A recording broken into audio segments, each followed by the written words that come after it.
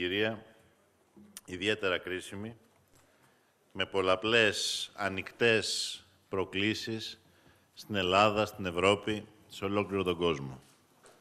Προκλήσεις που πρέπει με νυφαλιότητα να αναλύσουμε, να ζυγίσουμε και εν τέλει να συνυπολογίσουμε στις αποφάσεις μας, πάντοτε με γνώμονα το γενικότερο συμφέρον του τόπου, το συμφέρον του ελληνικού λαού. Το 2017 θα είναι ένας χρόνος κρίσιμος για την Ευρώπη. Θα είναι ένας χρόνος κρίσιμος για την Ευρώπη, δεδομένου ότι μέσα σε αυτό το χρόνο έχουμε σημαντικές εκλογικές αναμετρήσεις σε κρίσιμες χώρες για την Ευρώπη. Σε χώρες που διαμορφώνουν εν πολύ στην πορεία, την οικονομική και την πολιτική πορεία της Ευρώπης. Υπ' αυτή την έννοια, δεν θα ήταν υπερβολή να πούμε ότι για εξελίξεις οι πολιτικές το 2017 δεν θα κρίνουν απλά την πορεία της θα κρίνουν την ίδια της την ύπαρξη. Η Ευρωπαϊκή Ένωση πορεύεται πια χωρίς τη Μεγάλη Βρετανία, αλλά και με ένα διαρκώς ογκούμενο ρεύμα ακροδεξιού ευρωσκεπτικισμού στο εσωτερικό της. Και την ίδια στιγμή η αλλαγή κυβέρνησης αλλά και πολιτικής κατεύθυνσης στις Ηνωμένες Πολιτείες Αμερικής δημιουργεί ένα πρωτόγνωρο πολιτικό περιβάλλον καθώς για πρώτη φορά μετά το τέλος του Δεύτερου Παγκοσμίου Πολέμου κλονίζεται η ευρωατλαντική σχέση και ο προσανατολισμός της και κλονίζεται από ό,τι φαίνεται μονομερός. Θα έλεγα ότι πρόκειται για τεκτονικού χαρακτήρα μετατοπίσεις που σε συνδυασμό με την συνεχιζόμενη ένταση στην ευρύτερη περιοχή μας, στη γειτονική Τουρκία, στη Συρία, στη Μέση Ανατολή, αλλά και στις χώρες της Βόρειας Αφρικής, διαμορφώνουν ένα περιβάλλον σύνθετο, με μεγάλους κινδύνους, αλλά και με σημαντικές προκλήσεις.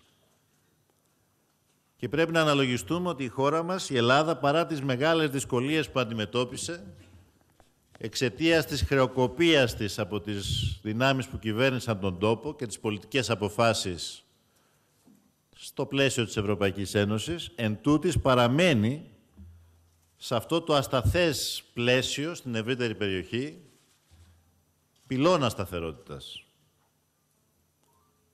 Σε αυτό λοιπόν το διεθνές ευρωπαϊκό περιβάλλον η κυβέρνηση του ΣΥΡΙΖΑ καταβάλει μια τεράστια προσπάθεια να ξαναστήσει τη χώρα στα πόδια της, να βγάλει την οικονομία από την πολυετή ύφεση και παρά τις διαρκείς πιέσεις από την πλευρά των πιστωτών μας, να προστατεύσει ταυτόχρονα τα πιο αδύναμα κοινωνικά στρώματα. Οι δυσκολίες είναι γνωστές σε όλους, δυσκολίες που βεβαίως δεν οφείλονται μόνο στην κατάσταση της χώρας. Αλλά οι δυσκολίες αυτές δεν μας πτωούν, ούτε βεβαίως μας φοβίζουν. Πορευόμαστε με αποφασιστικότητα, αλλά και με σεβασμό στην αξιοπρέπεια του λαού μας. Έχουμε μπροστά μας μια αξιολόγηση που δεν είναι από μόνη της δύσκολη, αλλά την κάνει δύσκολη η διαρκής το τελευταίο διάστημα διαφωνία ανάμεσα στους πιστωτές μας. Το Διεθνές Νομισματικό Ταμείο, έχοντας χάσει σχεδόν κάθε επιστημονική αξιοπιστία από την επτάχρονη παραμονή του στην Ελλάδα, από τις διαρκώς λαθεμένες προβλέψεις του και από τις λάθος συνταγές του, λάθη τα οποία έχει παραδεχθεί και το ίδιο, βρίσκεται σε πραγματική αδυναμία να υποστηρίξει χρηματοδοτικά ένα πρόγραμμα δίχως γενναία απομείωση του χρέους. Αυτό νομίζω ότι έγινε απολύτως σαφές και στην τελευταία συζήτηση για την Ελλάδα, για το πρόγραμμα, το τρίτο πρόγραμμα, στο Διοικητικό Συμβούλιο του Ταμείου την προηγούμενη εβδομάδα. Από την άλλη πλευρά, στην Ευρώπη ενώ όλοι κατανοούν ότι η γενναία απομείωση του χρέους είναι κάτι αυτονόητο και αργά ή γρήγορα θα συμβεί, εν τούτης αρνούνται να το αποφασίσουν πριν από τις κρίσιμες εκλογικές αναμετρήσεις σε Ολλανδία, Γαλλία και κυρίως Γερμανία, φοβούμενοι την άνοδο της ακροδεξιάς. Πρόκειται για μια στενόμυαλη λογική, διότι η ιστορική εμπειρία μας έχει αποδείξει ότι η ακροδεξιά θα ανεβαίνει όσο θα υιοθετείται από τις κυρίαρχες δυνάμεις η δική της ατζέντα. Και αυτό δυστυχώς το είδαμε και πρόσφατα στην Ευρώπη, σε αρκετές χώρες. Όσο η Ευρώπη θα παραμένει άβουλη, αδύναμη, ανίσχυρη, τόσο θα ενισχύονται οι δυνάμεις του ευρωσκεπτικισμού σε κρίσιμες χώρες και θα ανεβαίνει η ακροδεξιά. Από την άλλη όμως, και το Διεθνές Νομισματικό Ταμείο δεν δείχνει να έχει το θάρρος της γνώμης του. Και δεν θα φοβόμουν να πω, γιατί πρέπει να μιλήσουμε ανοιχτά και ειλικρινά σε αυτές τις κρίσιμες ώρες, και ορισμένα στελέχη του φαίνεται ότι προτιμούν να παίζουν προσωπικά παιχνίδια.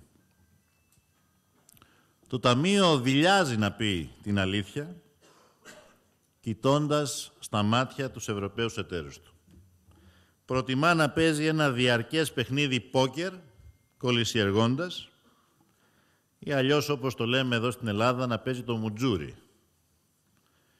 Και νομίζω ήρθε η ώρα να το πούμε ανοιχτά. Επειδή δεν θέλουν να δυσαρεστήσουν ή να ρίξουν το φταίξιμο στην αδιαλαξία του Γερμανού Υπουργού Οικονομικών σε σχέση με τα μέτρα που πρέπει να πάρθουν για την απομείωση του χρέους, προσπαθούν διαρκώς να εφεύρουν νέες απαιτήσεις από την Ελλάδα. Παράλογες, φανταστικές, εξωπραγματικές, δεν έχει σημασία. Αρκεί να είναι η Ελλάδα αυτή η οποία θα χρεώνεται την κολυσιεργία και εν τέλει την προδιαγεγραμμένη κατά την άποψή μου, την άποψή μου λέω, απόφαση του Ταμείου να μην χρηματοδοτήσει το τρίτο ελληνικό πρόγραμμα. Η Ελλάδα όμως αυτή τη διελκυστίνδα ούτε είναι, ούτε αισθάνεται μόνη της. Ούτε έχει μια κυβέρνηση πρόθυμη όπως οι προηγούμενες να παραδώσει το ελληνικό λαό σαν το σκυλί στα μπέλη. Και το κυριότερο, έχει ως σύμμαχο την ίδια την πραγματικότητα και την αδιάψευστη απόδοση των δικτών της ελληνικής οικονομίας. Το 2016, παρά τις ως συνήθως καταστροφικές προβλέψεις του Διεθνούς Νομισματικού Ταμείου, τις οποίες έσπεσε να υιοθετήσει και η αντιπολίτευση στην Ελλάδα, το 2016 έκλεισε με θετικό πρόσημο ανάπτυξης. Τα έσοδα είχαν μια εκπληκτική υπεραπόδοση, μεταξύ άλλων και εξαιτίας του γεγονότος ότι επιτέλους στη χώρα μας τελείωσε το μεγάλο φαγοπότη. Το φαγοπότη της φοροδιαφυγής και των σκανδάλων τύπου Siemens, Novartis κλπ. Και έτσι όχι μόνο πιάσαμε, αλλά υπερκαλύψαμε τον στόχο των πλεονασμάτων. Και έτσι, αντί να ενεργοποιηθεί ο κόφτης που όλοι είχαν προεξοφλήσει, ενεργοποιήθηκε ο δότης και δώσαμε την 13η σύνταξη εφάπαξ πριν τις γιορτές 620 εκατομμύρια σε πάνω από ένα εκατομμύριο συνταξιούχους. Οι Ευρωπαίοι εταίροι μας αναγνώρισαν αυτήν την εντυπωσιακή υπερκάλυψη των στόχων. Και έτσι σήμερα οι τεχνοκράτες, τα στελέχη του Διεθνούς Νομισματικού Ταμείου που ασχολούνται με την Ελλάδα έχουν μια μεγάλη δυσκολία για να στηρίξουν τις απόψεις και τις επιδιώξεις τους. Και η δυσκολία αυτή είναι η ίδια η πραγματικότητα. Επικαλούνται στοιχεία για την ελληνική οικονομία που όλοι γνωρίζουν, αλλά και οι ίδιοι γνωρίζουν, ότι δεν είναι έγκυρα. Και αυτό άλλωστε το επισήμανε το προηγούμενο διάστημα και η Κομισιόν. Αυτό λοιπόν που περιμένουμε και μάλιστα το περιμένουμε το γρηγορότερο δυνατό, είναι να αναθεωρήσουν αυτές τις εκτιμήσεις. Δεν μπορεί να υπάρξει διαπραγμάτευση αν δεν βρισκόμαστε στην ίδια σελίδα. Αν δεν ξεκινάμε από την ίδια βάση. Τι να συζητάμε. Περιμένουμε λοιπόν το συντομότερο να αναθεωρήσουν αυτές τις εκτιμήσεις, ώστε να μπορέσει να συνεχιστεί η διαπραγμάτευση σε τεχνικό επίπεδο. Εμείς από την πλευρά μας επαναλαμβάνουμε με σταθερότητα, νυφαλιότητα, αλλά και αποφασιστικότητα. Δεν πρόκειται να δεχθούμε άλλα παιχνίδια στην πλάτη της Ελλάδας και του ελληνικού λαού. Δεν θα επιτρέψουμε, μαζί με τους συμμάχους μας στην Ευρώπη, όχι μόνοι μας, μαζί με τις συνεπείς ευρωπαϊκές προοδευτικές δυνάμεις, άλλα παιχνίδια με τη φωτιά για τη συνοχή της Ευρώπης και για το μέλλον της Ευρώπης. Όποιοι παίζουν παιχνίδια για Ευρωζώνη δύο ταχυτήτων, για διασπάσεις και διαιρέσεις, να ξέρουν ότι παίζουν με τη φωτιά. Και είμαι απόλυτα βέβαιος ότι η ίδια τους η κυβέρνηση δεν θα αφήσει τους πυρομανείς να παίζουν με τα σπίρτα στην αποθήκη με τα πυρομαχικά. Και γι' αυτό θέλω να αξιοποιήσω την παρουσία μου σε αυτό το βήμα της Κεντρικής Επιτροπής και να παρακαλέσω θερμά την Καγκελάριο να αποθαρρύνει τον Υπουργό των Οικονομικών της από αυτή την διαρκή επιθετικότητα εναντίον της Ελλάδας και από αναφορές υποτιμητικές του τύπου «Η Ελλάδα και οι Έλληνες ζουν πάνω από τις δυνατότητές τους». Δεν ξέρω αν αυτού του είδους οι αφορισμοί συγκινούν τους Γερμανούς ακροδεξιούς και βοηθάνε τη συγκράτηση των διαρροών προς το κόμμα της εναλλακτικής για τη Γερμανία. Αυτό είναι δικό τους πρόβλημα και δεν μπορεί η προεκλογική περίοδος σε μια χώρα να επηρεάσει τη ζωή και τις εξελίξεις σε μια άλλη χώρα της Ευρώπης. Αυτό όμως που ξέρω είναι ότι η κοινή ευρωπαϊκή αξιοπρέπεια, ειδικά σε συγκυρίες σαν αυτήν, αξίζει να είμαστε πιο προσεκτικοί. Και ειδικά απέναντι σε μια χώρα που έχει λαιλατηθεί και έναν λαό που έχει κάνει τόσες θυσίες και συνεχίζει να κάνει στο όνομα της Ευρώπης σε έναν λαό που έχει δείξει μια εκπληκτική συμπεριφορά απέναντι στην προσφυγική κρίση που είναι ευρωπαϊκή κρίση και έχει κάνει θυσίες οικονομικές και κοινωνικές για την διατήρηση της συνοχής της Ευρωζώνης. Και πιστεύω ότι δικαίως το S5, το Σοσιαλδημοκρατικό Κόμμα, επισήμως, μετά από αυτές τις δηλώσεις, εγκάλεσε τον Γερμανό Υπουργό Οικονομικών ότι επιχειρεί να συντηρήσει ένταση γύρω από το ελληνικό πρόγραμμα προσπαθώντας να φορτώσει την Ελλάδα τα δικά του αδιέξοδα. Εμείς λοιπόν επαναλαμβάνουμε, τηρούμε τα συμφωνηθέντα. Να τηρήσουν και οι εταίροι μας από την δική τους πλευρά όσα έχουν συμφωνήσει. Είμαστε έτοιμοι να συζητήσουμε οτιδήποτε είναι στο πλαίσιο της συμφωνίας και στο πλαίσιο της λογικής. Αλλά όχι πράγματα που είναι έξω από το πλαίσιο της συμφωνίας και έξω από το πλαίσιο της λογικής. Απαιτήσεις που δεν υποστηρίζονται από την λογική και από τους αριθμούς, δεν πρόκειται να συζητήσουμε. Για πρώτη φορά από το 2010, η χώρα υλοποιεί ένα πρόγραμμα που πιάνει τους στόχους του. Για πρώτη φορά, η Ελλάδα τηρεί με συνέπεια όσα έχουν συμφωνηθεί. Συνεπώς δεν δεχόμαστε από κανέναν παρατηρήσεις ότι είμαστε απρόθυμοι να συνεργαστούμε. Όποιος επιστρατεύει την κόλληση εργία, είναι προφανές ότι το κάνει για άλλους λόγους και οφείλει έντιμα να τους εξηγήσει αυτούς τους λόγους. Και εδώ επιτρέψτε μου να αναφερθώ και στην τακτική της αξιωματικής αντιπολίτευσης της Νέας Δημοκρατίας. Ακούω ότι ο κύριος Μητσοτάκης θα ταξιδεύσει στη Γερμανία αύριο για να επισκεφθεί τη Δευτέρα την κυρία Μέρκελ και τον κύριο Σόιμπλε. Ειλικρινά δεν ε, γνωρίζω τι θα τους πει.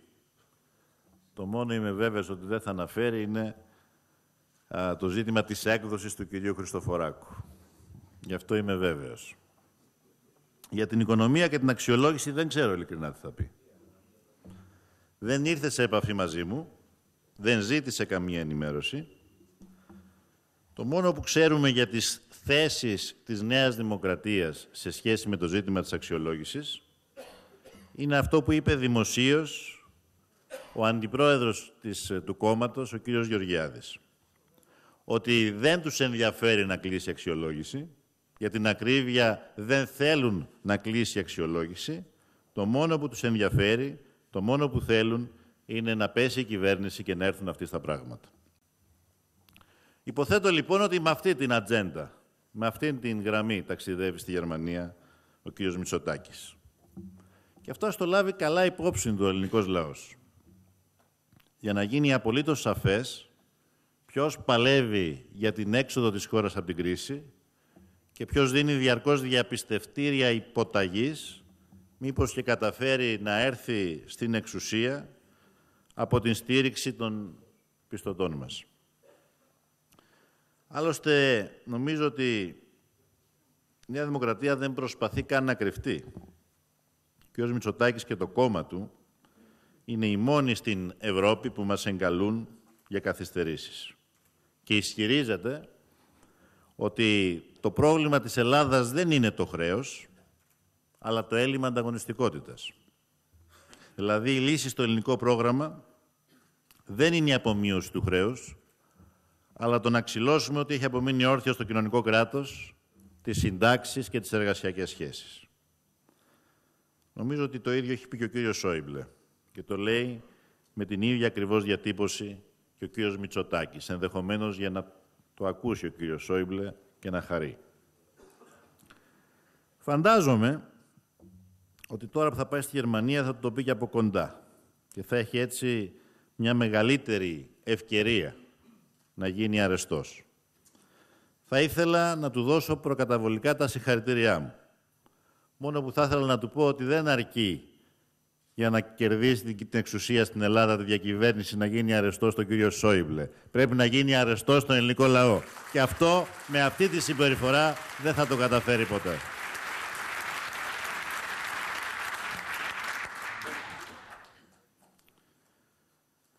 Συντρόφισσες και σύντροφοι,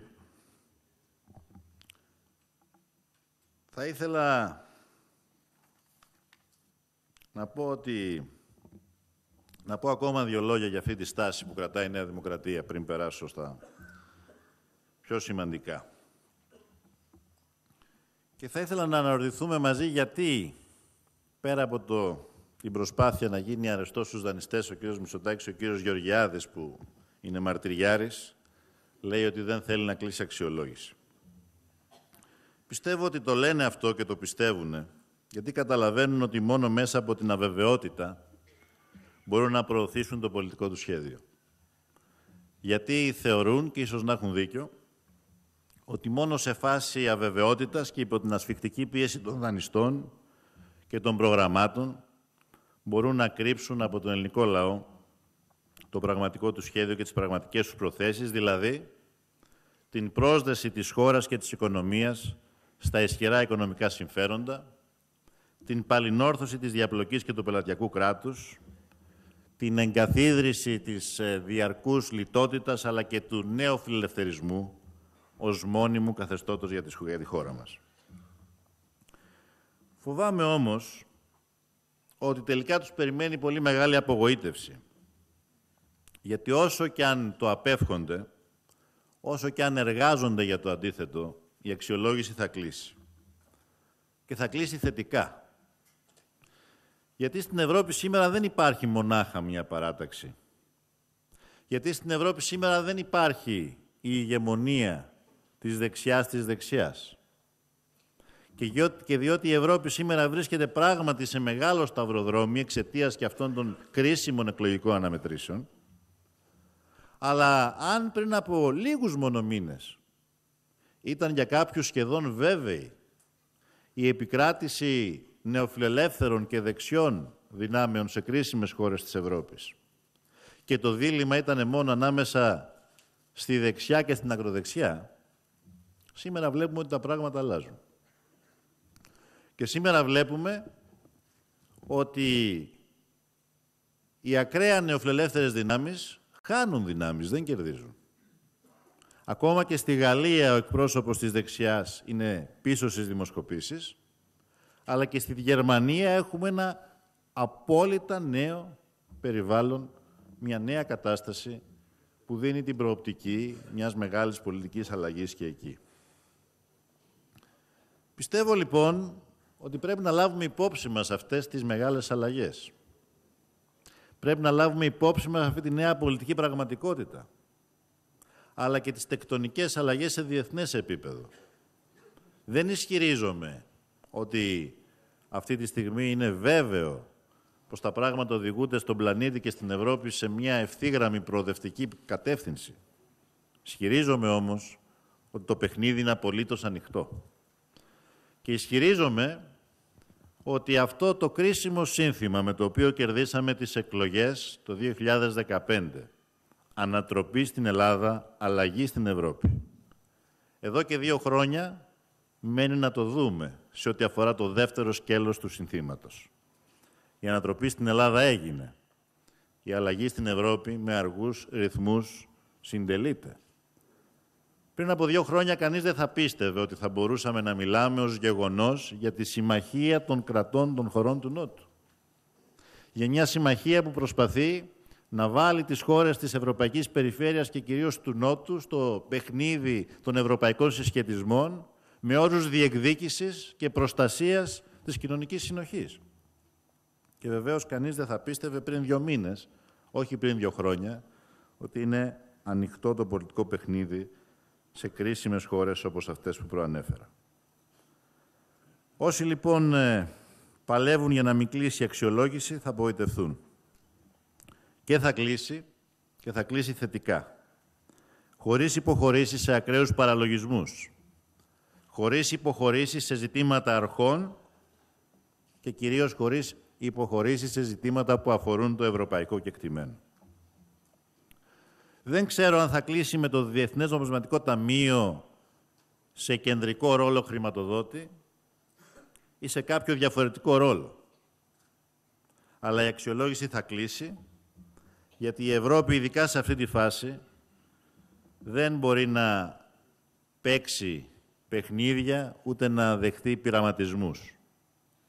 Και η χώρα μας θα γυρίσει σελίδα με κάποιους για άλλη μια φορά να βρίσκονται βαθιά και βαριά εκτεθειμένοι. Συντρόφισσες και σύντροφοι, έχουμε διανύσει το μεγαλύτερο μέρος του δρόμου. Είμαστε πολύ κοντά στο σημείο εκείνο όπου θα μπορούμε να πούμε με σιγουριά ότι η κρίση είναι παρελθόν. Και η εξέλιξη αυτή, επαναλαμβάνω, δεν είναι σημαντική μόνο για τη χώρα μας και την ελληνική οικονομία, αλλά συνολικά για τη σταθερότητα στην Ευρώπη. Γιατί βρισκόμαστε, όπως είπα αρχικά, σε μια περίοδο διεθνών ανακατατάξεων και δεν είναι μόνο το Brexit, είναι που αμφισβητείται πλέον ανοιχτά η δομή του ευρωπαϊκού συστήματος από πολλές και διάφορες μεριές. Είναι που οι πολίτες χάνουν την εμπιστοσύνη τους στους θεσμούς και το δείχνουν κάθε φορά που καλούνται να ψηφίσουν. Είναι και οι πολιτικές εξελίξεις στις ΗΠΑ το πρόβλημα όμως στην Ευρώπη είναι ότι οι υποστηρικτές της πολιτικής της ακραίας λιτότητας που οδήγησε σε αυτά τα διέξοδα και αποτελεί τη βασική αιτία της ανώδου της ακροδεξιάς, αρνούνται να βάλουν μυαλό. Είναι οι δικές τους πράξεις, οι δικές τους παραλήψεις που κλονίζουν το οικοδόμημα, που οδηγούν σε εθνικές αναδιπλώσεις και εν τέλει αναδεικνύουν τον κίνδυνο της διάλυσης. Είναι η απουσία ελπίδας για το μέλλον που ανοίγει χώρο στο σκοτάδι και στο μίσος. Και μπροστά σε αυτό το αδιέξοδο εμφανίστηκαν πρόσφατα και τα σχέδια διάλυσης. Ακροβασίες και πολιτικές αιμονές που αποσκοπούν κοντόφθαλμα σε ένα καλό εκλογικό αποτέλεσμα και από τις οποίες όμως είναι βέβαιο ότι οι μόνοι χαμένοι θα είναι οι λαοί. Είμαστε λοιπόν ξεκάθαρα σε μια μεταβατική φάση, όπου η αμφισβήτηση εκφράζεται πλέον ανοιχτά. Και το ερώτημα είναι τι χαρακτήρα και τι πρόσημο θα λάβει αυτή η αμφισβήτηση. Αν θα επικρατήσουν οι αντιλήψεις του οικονομικού εθνικισμού, του απομονωτισμού και του ακροδεξιού λαϊκισμού, ή αν θα εκφραστεί ένα νέο προοδευτικό ρεύμα, ικανό να διασφαλίσει την οικονομική και πολιτική σταθερότητα, υπερασπιζόμενο παράλληλα τις αξίες της αλληλεγγύης, της δημοκρατίας, της αξιοπρέπειας. Και οφείλω εδώ να επισημάνω ότι η δυναμική των πραγμάτων δεν είναι πάντοτε όπως φαίνεται στην επιφάνεια. Ας θυμηθούμε ότι στις προκριματικές εκλογές των ΗΠΑ γύρω από το αίτημα της κοινωνικής δικαιοσύνης εκδηλώθηκε ένα τεράστιο προοδευτικό ρεύμα που διεκδίκησε με αξιώσεις το χρήσμα των δημοκρατικών, έχασε για λίγο. Αν δεν έχανε θα ήταν διαφορετικές σήμερα οι εξελίξεις στον κόσμο. Να προσέξουμε, όπως είπα και πιο πριν, τις διαργασίες στη Γερμανία. Τα αρχικά δημοσκοπικά δεδομένα έχουν ανατραπεί και η προοπτική κυβερνητικής συνεργασίας ανάμεσα στη σοσιαλδημοκρατία, την αριστερά και τους πράσινους γίνεται πλέον μια απολύτως ρεαλιστική προοπτική. Και να επισημάνουμε τέλος και σε σχέση με τις εξελίξεις στη Γαλλία ότι η ανοιχτή εκλογική διαδικασία που οργάνωσε το Γαλλικό Σοσιαλιστικό Κόμμα ανέδειξε μια έκπληξη, έναν αριστερό υποψήφιο για την Προεδρία. Και ότι η συνεργασία ανάμεσα στους σοσιαλιστές και την αριστερά σε αυτή την κρίσιμη χώρα θα μπορούσε, και εδώ είναι και η ευθύνη της αριστεράς, που πρέπει να ξεκαθαρίσει αν αναλαμβάνει την ευθύνη της διακυβέρνησης στα δύσκολα ή αρέσκεται με την καταγγελία, θα μπορούσε λοιπόν να δημιουργήσει μια ακόμα μεγαλύτερη δυναμική μια τέτοια πιθανή εξέλιξη. Δεν ισχυρίζομαι ότι τα πράγματα είναι εύκολα. Ούτε ισχυρίζομαι ότι υπάρχουν μαγικές λύσεις. Λέω όμως ότι η προοπτική μιας αριστερής εναλλακτικής στην Ευρώπη και τον κόσμο παραμένει απολύτως ανοιχτή. Είναι λοιπόν και στο δικό μας χέρι το να ξεπεράσουμε παθογένειες, να διαμορφώσουμε μέσα από ειλικρινή διάλογο συνθήκες ενότητας, να χτίσουμε πάνω σε γερές και σταθερές βάσεις νέες κοινωνικές συμμαχίες και να είναι το δικό μας σχέδιο που θα ανοίξει τους αναλλακτικούς δρόμους για την υπέρβαση της ευρωπαϊκής κρίσης. Είναι σε αυτή την ιστορική συγκυρία που βρισκόμαστε στην κυβέρνηση γιατί επιλέξαμε να αναλάβουμε δύσκολες ευθύνες. Και οφείλουμε να γνωρίζουμε ότι δεν θα κριθούμε μόνο από τους συμβιβασμούς και τις αντιστάσεις μας στη διαπραγμάτευση. Αλλά κυρίως θα κριθούμε από το αν θα καταφέρουμε να πάρουμε πρωτοβουλίες που θα στηρίζουν την κοινωνική πλειοψηφία.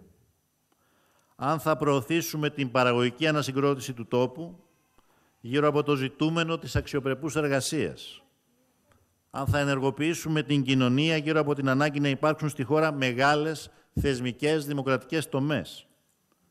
Αν θα καταφέρουμε να εμπεδώσουμε το αίσθημα της κοινωνικής δικαιοσύνης. Αν θα θωρακίσουμε θεσμικά τη διαφάνεια. Και αυτό στην πράξη σημαίνει ότι πρέπει να κάνουμε πιο ουσιαστική την πολιτική μας.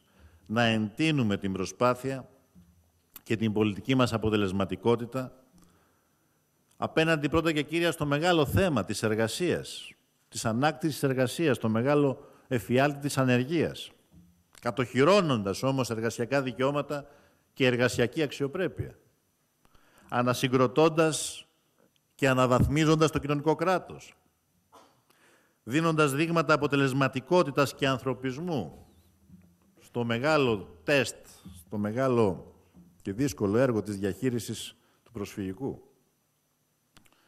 και μαθαίνοντας και από τα λάθη και από τις παραλήψεις μας. Και βεβαίως συνεχίζοντας και βαθαίνοντας με αποφαστικότητα το μέτωπό μας απέναντι στη διαφθορά και στη διαπλοκή, ένα μέτωπο και έναν πόλεμο, τον οποίο μπορούμε και οφείλουμε να κερδίσουμε. Έχουμε κάνει, δεν υπάρχει αφιβολία, σημαντικό έργο σε όλους τους τομείς. Αλλά πρέπει να συνεχίσουμε ακόμα πιο συστηματικά. Στο πλαίσιο αυτό, οι μεγάλες πρωτοβουλίες μας για το επόμενο διάστημα είναι πρωτοβουλίες που ξεπερνούν τον ορίζοντα της διαπραγμάτευσης και της αξιολόγησης και που αφήνουν ένα προοδευτικό αποτύπωμα στην ελληνική κοινωνία και στα πολιτικά πράγματα του τόπου.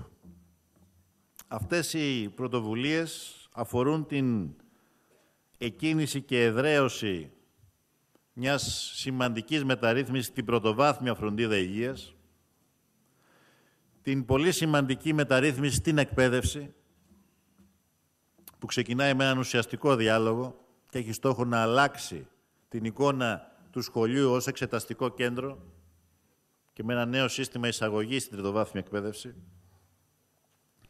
Αφορά την ανάγκη για μια προοδευτική μεταρρύθμιση στον χώρο της τοπικής αυτοδιοίκησης.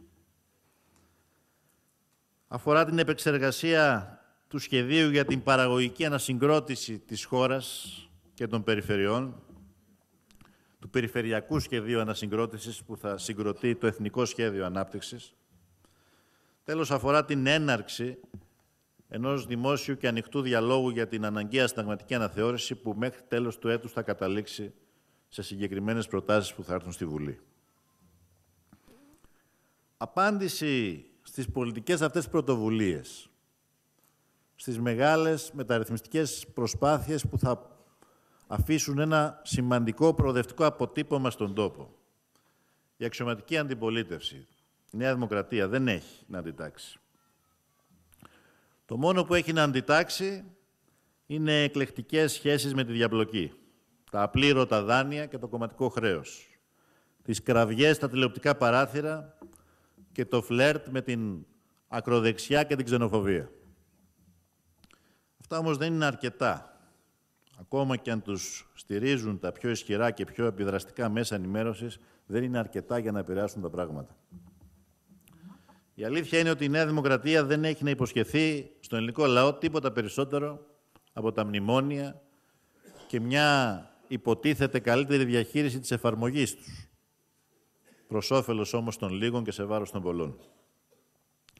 Με το τέλος όμως των μνημονίων, το κλείσιμο της αξιολόγησης και το τέλος της Επιτροπής στα μέσα του 18, τελειώνει οριστικά η ρητορική τους. Και αλλάζει, αν θέλετε, και ο χάρτης της πολιτικής αντιπαράθεσης στον τόπο. Η γραμμή διαχωριστική επανέρχεται εκεί που πάντοτε ήταν. Πρόοδος, συντήρηση. Δεξιά, αριστερά. Υπεράσπιση των κοινωνικών δυνάμεων, υπεράσπιση των εργαζόμενου λαού και των συμφερόντων της εργατικής τάξης και του εργαζόμενου λαού, υπεράσπιση των συμφερόντων των ολίγων ξαναέρχεται η διαχωριστική γραμμή στο πολιτικό της και ταξικό της πρόσημο. Και αυτό μας δίνει, αν θέλετε, και το περιθώριο από τώρα να σχεδιάσουμε την επόμενη μέρα. Τον ρόλο του ΣΥΡΙΖΑ ως κόμμα, παράταξη, που εκφράζει παραδοσιακά την αριστερά, αλλά και εκπροσωπεί αυτό που ονομάζουμε τον στρώμα των από κάτω, των κατώτερων τάξεων και της μεσαίας τάξης. Και βεβαίως μας ανοίγει και τον ορίζοντα να σκεφτούμε την επόμενη μέρα στην Ελλάδα. Τη διαμόρφωση ενός πολιτικού συστήματος με δεδομένο ένα νέο εκλογικό νόμο που έχουμε ψηφίσει. Και εδώ θα ήθελα να πω και δύο λόγια για τη λεγόμενη κεντροαριστερά, το ΠΑΣΟΚ, που οφείλουν επιτέλους να κοιτάξουν γύρω τους τι συμβαίνει. Όλη η Ευρωπαϊκή Σοσιαλδημοκρατία κάνει βήματα προς τα αριστερά. Αναζητά καινούριο στρατηγικό σχέδιο, αυξάνοντας τις αποστάσεις από την πολιτική του νεοφιλελευθερισμού και της ασίδωτης αγοράς. Το Πασόκ όμως επιμένει να θέλει να είναι στην Ελλάδα η ουρά της Νέας Δημοκρατίας και του κ. Μητσοτάκη. Είχε πολλές ευκαιρίες αυτό το διάστημα να υπερβεί αυτές τις εσωτερικές αγκυλώσεις.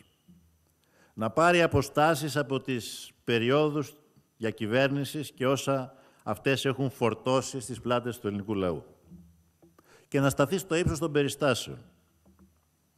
Ο εκλογικός νόμος, το θέμα της διαπλοκής, η στάση απέναντι στη διαπραγμάτευση, είναι κάποια χαρακτηριστικά παραδείγματα. Επιμένει όμως σε μια αδιέξοδη αιμονή.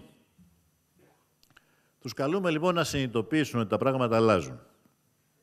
Σε λίγο θα είναι οι μόνοι στην Ευρώπη που επιμένουν σε συμμαχία με τη δεξιά και μάλιστα με μια δεξιά νέο φιλελεύθερη και ακραία ταυτόχρονα. Τη δεξιά που συνδυάζει τον νεοφιλελευθερισμό του κ. Μητσοτάκη με την ακροδεξιά ρητορική του κ. Γεωργιάδη. Αυτό δεν θα τους βγει σε καλό. Αλλά δεν θα είναι καλό και για τον τόπο. Δεν θα βοηθήσει στην πιο γρήγορη και ομαλή μετάβαση στις πραγματικές διαχωριστικές γραμμές. Συντρόφισσες και σύντροφοι, ο δρόμος μπροστά μας παραμένει δύσκολος. Γι' αυτό και η συμβολή των κομματικών δυνάμεων σε αυτές τις προσπάθειες που καταβάλουμε είναι ιδιαίτερα σημαντική. Θα πρέπει όμως να έχουμε υπόψη μας το εξής. Η κομματική βάση δεν υπάρχει μόνο για να την επιστρατεύουμε όπου υπάρχει ανάγκη για χέρια ή για εκλογή οργάνων. Η κομματική βάση χρειάζεται φροντίδα. Χρειάζεται να παρακολουθούμε τους προβληματισμούς της. Να απαντάμε στα ερωτήματά της. Και κυρίως χρειάζεται να την ακούμε. Χρειάζεται ένα σοβαρό και μελετημένο προσανατολισμό δουλειάς που θα ανταποκρίνεται όχι μόνο στις δυνατότητες, αλλά και στις αρχές και στις αξίες της. Και περισσότερο απ' όλα χρειάζεται να την στηρίζουμε. Έχοντας πάντοτε στο μυαλό μας ότι υπάρχει ένας ολόκληρος κόσμος που νιώθει υπεύθυνος για το τι κάνει και τι δεν κάνει η κυβέρνηση. Που νιώθει υπερήφανος όταν δημιουργούμε υποδείγματα αριστερής διακυβέρνησης και απογοητεύεται όταν βλέπει στην πολιτική μας λάθη και παραλήψεις. Γι' αυτό θέλω εδώ να πω ξεκάθαρα ότι δεν θα υπάρξει, δεν πρέπει να υπάρξει και δεν θα υπάρξει καμία ανοχή σε φαινόμενα λιγοστά, αλλά πρέπει να τα ξεδιαλύνουμε, σε φαινόμενα που ακυρώνουν το ηθικό πλεονέκτημα της αριστεράς. Κανένας πονηρούλης δεν θα αφήσουμε να χρησιμοποιεί κανένα νόμιμο φανές μέσο για ιδίον όφελος. Αυτά έχουν τελειώσει και θέλω να ζητήσω τόσο από τους υπουργούς, όσο και από τα αρμόδια όργανα του κόμματος, να μην δείξουν καμία επίοικια, καμία ανοχή.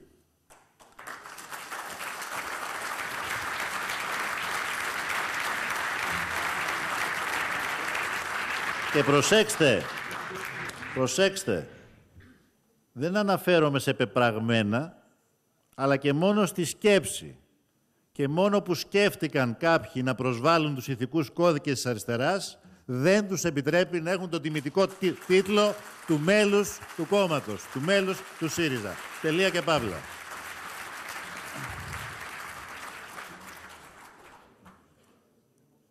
Συντρόφισσες και σύντροφοι, διανύουμε μια δύσκολη φάση.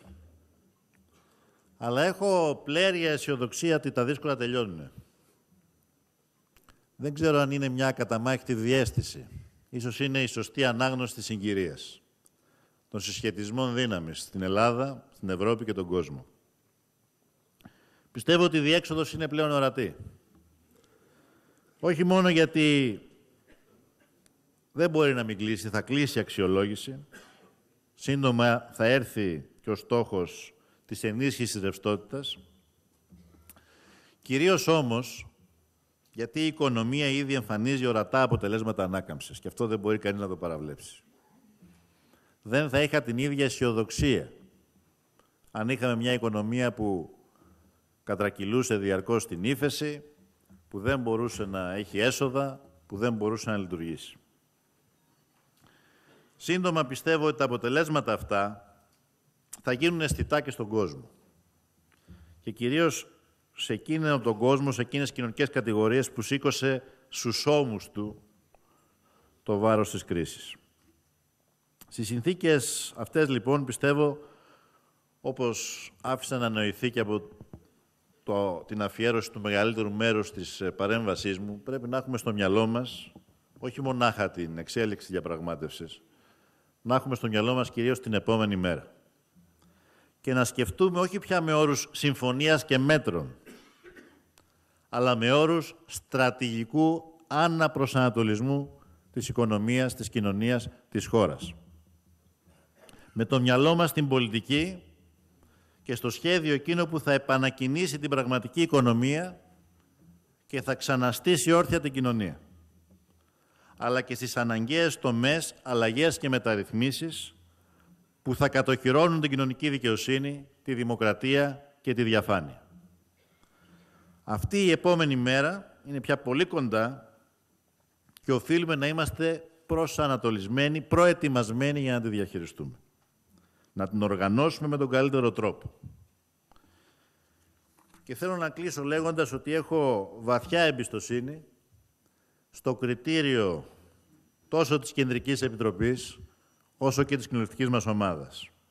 Έχω τη βεβαιότητα ότι θα καταφέρουμε να βγάλουμε τη χώρα αλλά και την κοινωνία από την κρίση και να σχεδιάσουμε μαζί την μεταμνημονιακή Ελλάδα, γιατί έχει έρθει πια ο καιρός, μετά από 7 χρόνια σκοτάδι, να σχεδιάσουμε μαζί την μεταμνημονιακή Ελλάδα. Σας ευχαριστώ.